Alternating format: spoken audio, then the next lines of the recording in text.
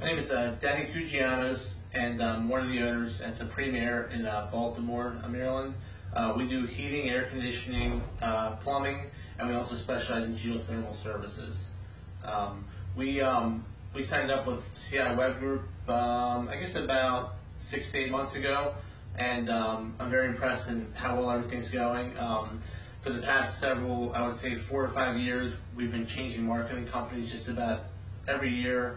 Um, just kind of looking for better results, more transparency, uh, and, and, and kind of what we're, what we're getting out of the company.